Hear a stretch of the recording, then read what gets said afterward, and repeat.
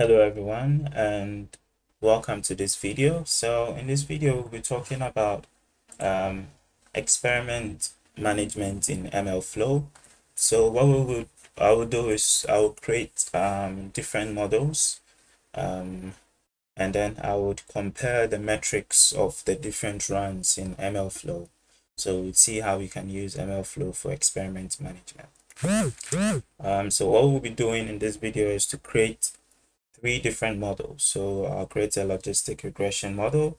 I'll create a model, um, an XGBoost model, and then also a neural network model. And then we'll see how we can use MLflow to track the metrics um, and then the artifacts um, generated by these models. So let's get started.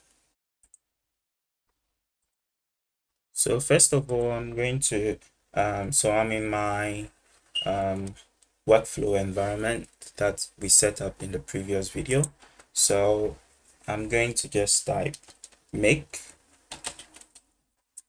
click enter, and then it would um, set up all my Docker images and containers.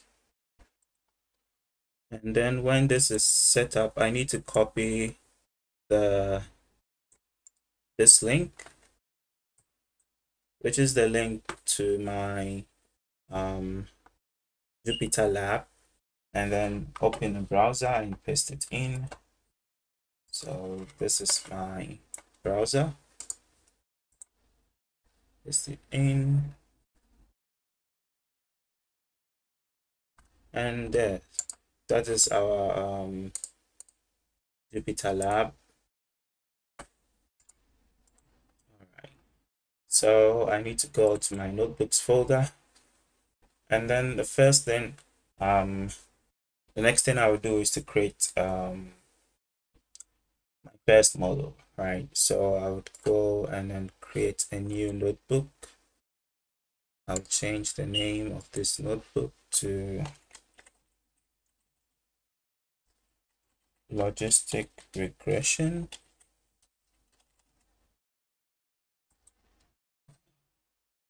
Now let's um, start writing some code.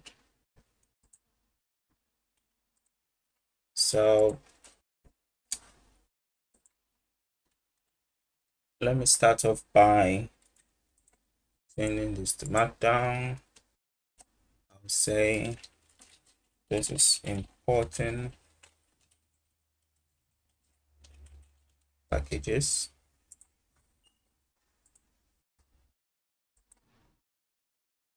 So um, what packages do we need? So we need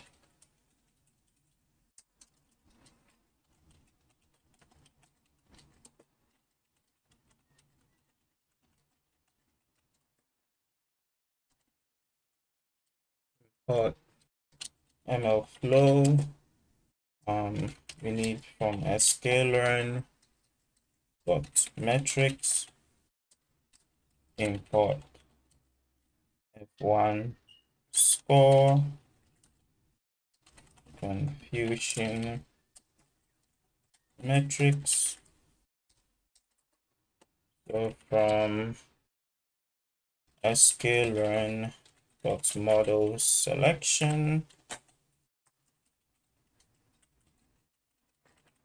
Import let me make this larger.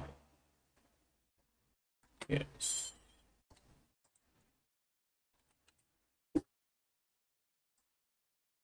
import train test split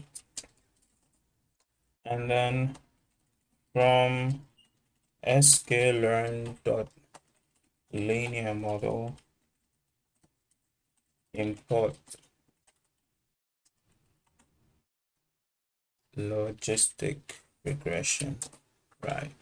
So um these are all the packages um that we'll need for logistic regression. And now let's take a look at the, um, the data set we are using. So um, I'll have a link in the description. So this data set is uh, the Pima Indians diabetes data set. So based on some features, we are just trying to predict whether um, a person would have diabetes or not. So um, let's read this data. So we have pd.read CSV, and then we have that. This data has no header, so header is none. And then df.head. So we have that. So it's a it's sort of like a binary, it's a binary classification problem. If I do df dot scribe um, so not df dot iloc um,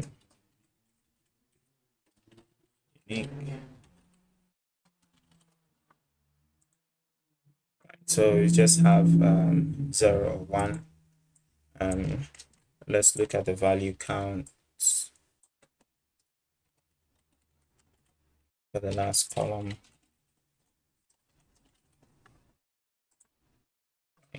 Uh, so it's um it's it's unbalanced it's an imbalanced um, classification problem but we don't really care about using um, balancing the data distributions and yeah we're just showing you how to use MLflow to track your experiments. So you can obviously add any other machine learning knowledge you have to get a, a good prediction model right? So let's start off um, by splitting our data. So um,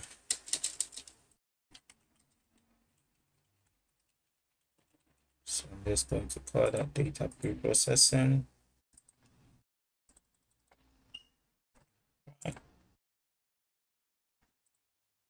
And then what do we do? So I would have my X to be df. So everything but the last column. And then my Y will just be my last column. So minus one. And then I'm going to split my um my training my data into training and testing. So we have X train, X test, Y train, Y test, and then we have train, test split, so x, y, test size is 0.33. We have random state, just going to write zero, and then stratify is one. So if you don't know what these um, arguments are, you can read um, just Shift tab and then you can read all what those arguments are. Right or you can just look at the documentation for sklearn so after doing this um, let me scale the data. I'm going to also import so from sklearn dot pre-processing import min max right and then I'm going to say mx is min max scaler and then I'll say x train is equal to mx dot fit transform x train and then x test is mx dot transform x train. X test sorry. Right. So we have finished um so we have finished um processing our data and doing everything. Um, the next thing is, so let's set up our environment, uh, experiment, sorry. So I'm just to say setting up experiment. Run that. And then we will say ml flow dot set experiment. This would be our baseline. I'm just going to call this baseline predictions. Right. And then we say ML flow dot sklearn autolog. So by just typing mlflow dot sklearn dot mlflow.sklearn.autolog, mlflow will just automatically log um, a whole lot of metrics and artifacts, and I'll show you um, what it does. So it says baseline predictions does not exist, creating a new experiment, right?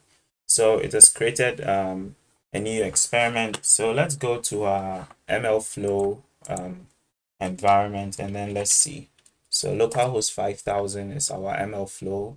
And then we can see that the experiment on the experiments tab, it has created the baseline predictions if we go there, we don't see any run because we haven't run any experiment yet. So we don't see any run there, but then the name has been created for us. So let's go and then create our first experiment. So we will use a context manager. So we'll say ml flow dot start run. And then we'll say the run name is logistic regression baseline. Then this is as run. Our model is logistic regression. And I will say model dot fit x train y train and then we after fitting the model we'll have some predictions. So we'll say model predict x test. And then we'll say y prediction is np that's where the predictions is greater than 0 0.5 we'll have one otherwise we'll say it's a zero. And then we'll say f1 so we'll analyze the, the performance of our models using the f1 score. So f1 so y test y predictions. And then mlflow dot log metric. So to log a metric, we need a key and a value. So the key for this is F1 experiment. Use an underscore instead. F1 experiment score. And then the value is F1, right? So with this, um, let me go ahead and run that.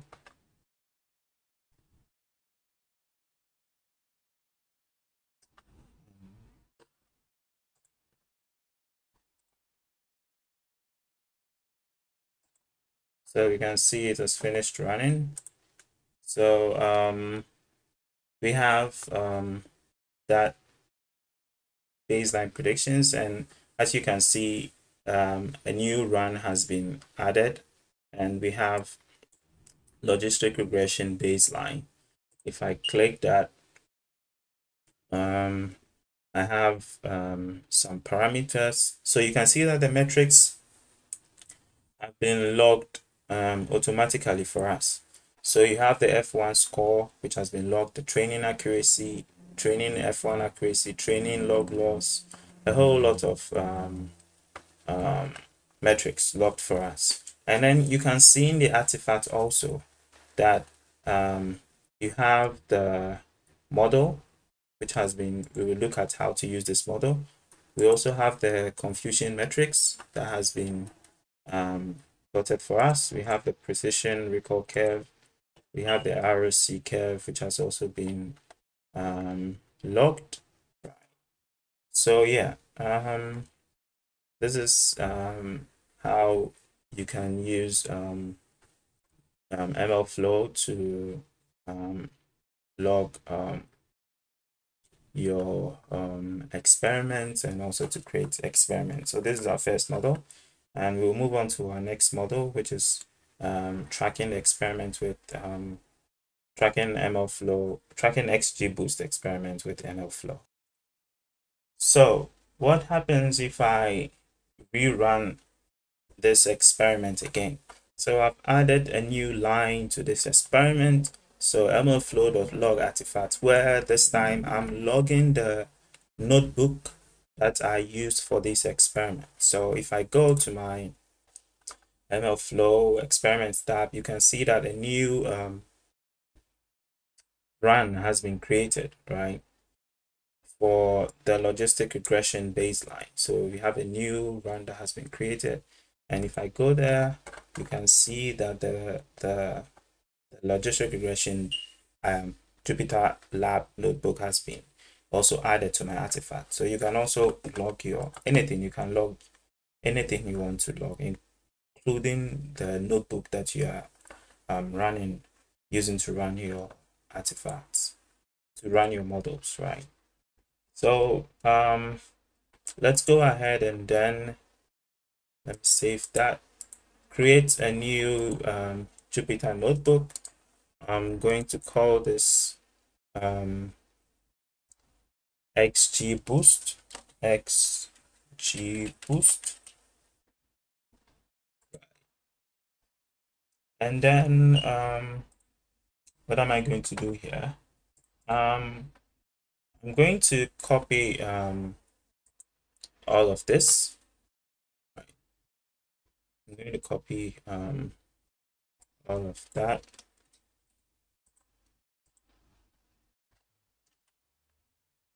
Um i don't need this. Right.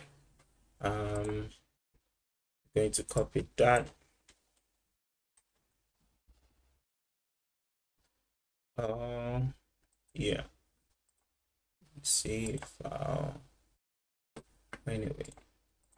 You could have just um made a copy of this notebook. And then um just going to copy this also.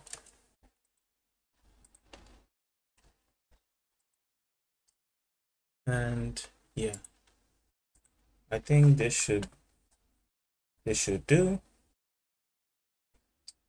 So um I'm going to um run this.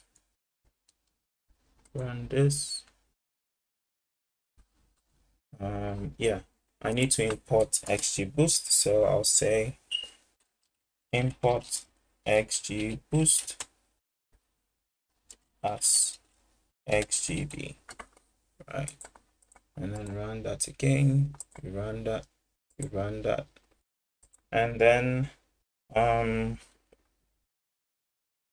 to use XGBoost, we actually have to convert um, this um, train and then the test data into um, the XGBoost um, dtrain um, array. So D matrix array. So um, say MLflow dot set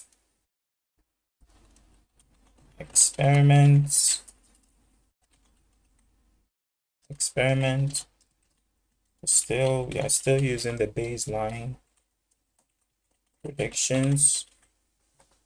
Let's see if it's baseline predictions. And then we would say MLflow dot xg boost dot auto log. Right. And then we say d train so it's xgb dot d matrix. So this is X train. And then our label is Y train. And then we have the D test.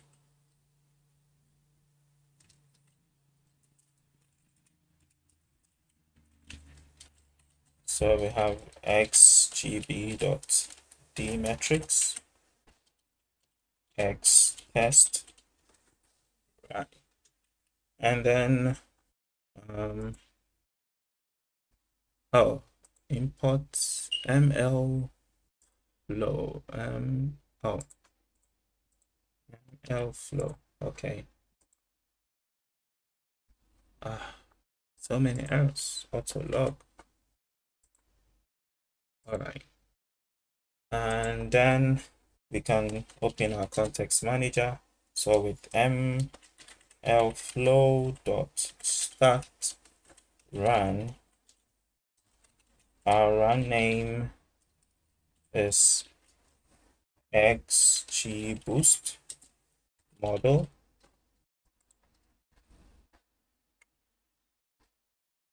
Xg boost let me use the same so xg boost baseline. As run and then we have our model is xgb dot train. We have our d train. Train parameters. And then we have predictions. So the same model dot predict the test and then I'm just going to copy this one also.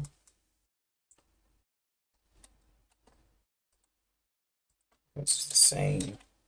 So y predictions f1 score. And then we will log the notebook also so that is xg boost. Let me save that. Hopefully we would have no errors. Okay so it's finished running without any errors. So let's refresh that. And you can see that um, so uh, you can already see that you have logistic regression you have the F1 experiment score for logistic regression and then XGBoost. And then XGBoost has a higher um, F1 score than logistic regression. So this makes it easy. Just using this makes it easy to. Uh, so we can also see our feature importance. Wait, so which of the um, features is more important in the prediction model? So you can see feature 5, feature 1, and feature 6. Uh, more important than the others. You can also see the uh, XG Boost, um, which has been um, um, which has been um, logged. Let's go ahead and then do some comparisons. So we can see um, um, the our uh, model um, so we can see this is logistic regression baseline model. This is for XGBoost you can do so many comparisons um, with the model so we'll come to that later. Um, so yeah. With that let's move on to our next model which is my favorite type of model so neural networks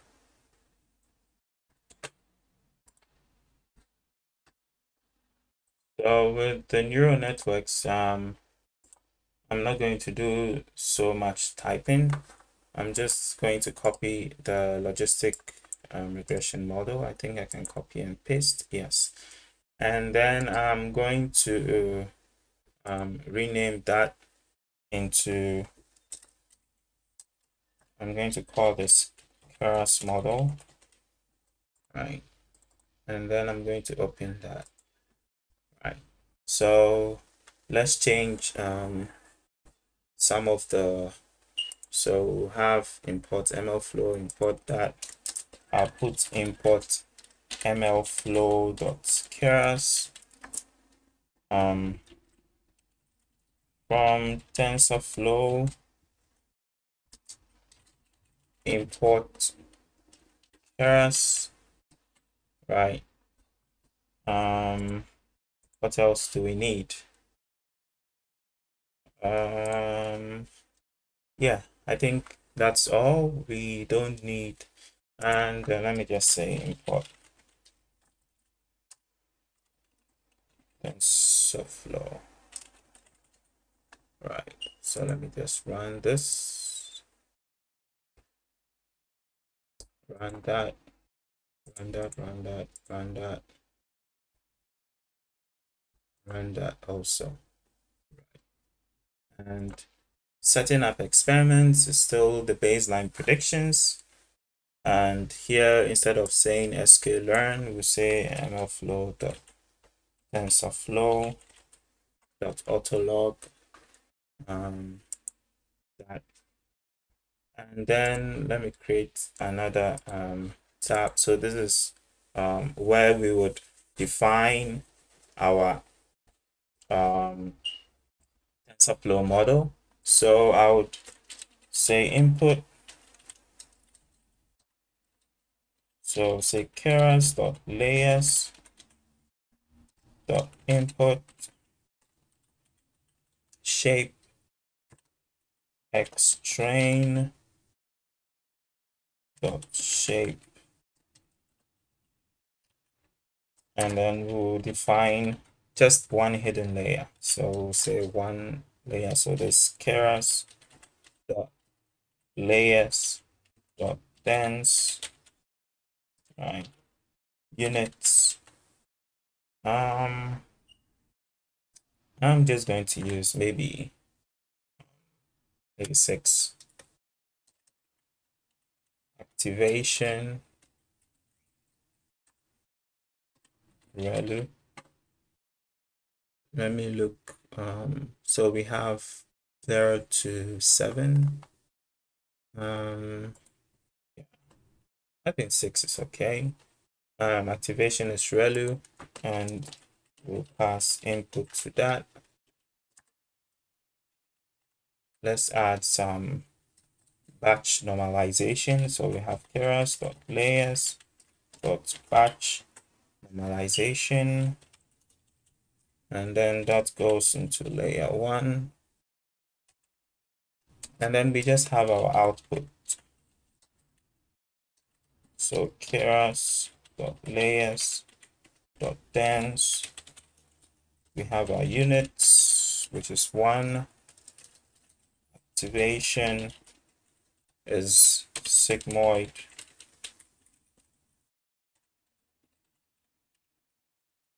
And then we build a model so we have keras dot model. We have our input and then we have our output. And then we say model dot compile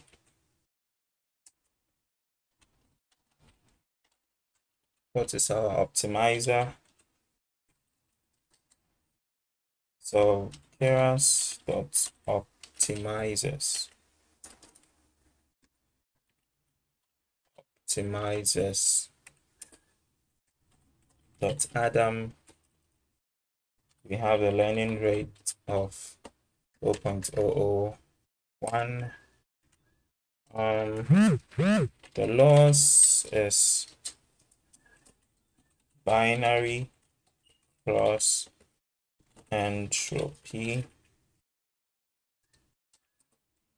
The metrics is accuracy. Right. So then let's say model dot summary. Right. So let's run that.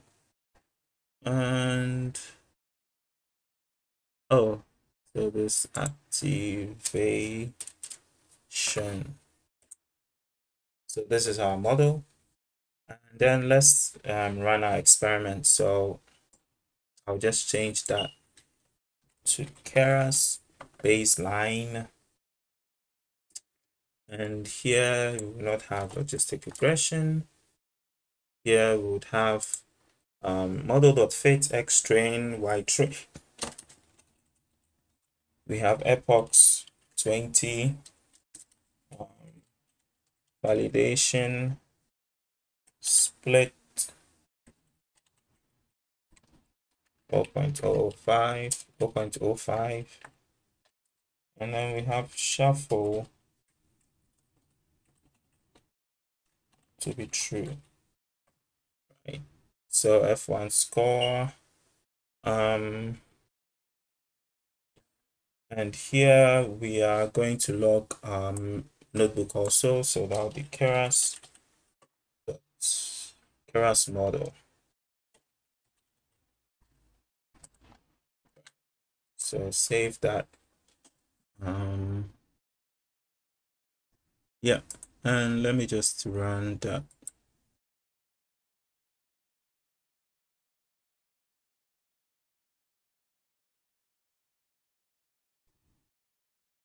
all right so by running that we can go to our MLflow model.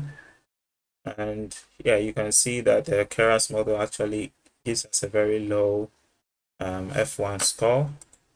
Uh, let me see what happens if i increase the um, number of epochs. 100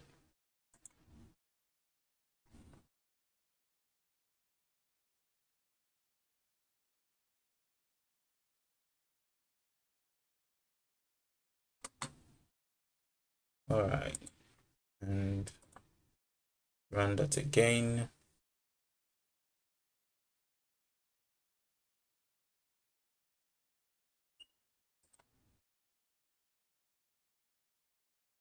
So yeah you can see that actually after increasing the number of epochs to 100 our keras model actually um, is the one that gives us the um, the highest um, accuracy, right? So um, this is just to show you, obviously you could run um, um, some um, some optimizations, right? Um, to, to, to find out or some hyperparameter tuning to, to find out which of the models um, would give you the best um,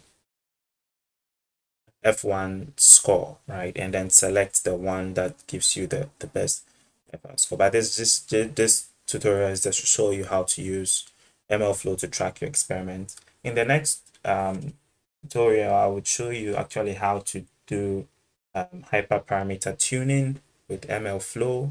And then you can incorporate this hyperparameter tuning in these three different models and then select the one that actually gives you um, the best um, model, right? In our hyperparameter tuning, and I'm going to leave um, in the next tutorial, I'm going to give leave it very, very um, give you a very simple tutorial. So I will just be using the logistic regression model. We will assume that that is what we want to tune. Then in your own spare time, you can just incorporate this and then tune the other models and then see the one that gives you the best. So you can see that you can see that just by using MLflow, it's very easy to track what you are doing and what each run is giving you. You don't have to record things manually. So this experiment um, tracking is one of uh, management is a very good feature in MLflow. So yeah, thanks for watching um, this video. Um, if there is anything else I forgot to add, I will do that in the next video. So thanks for watching and keep watching.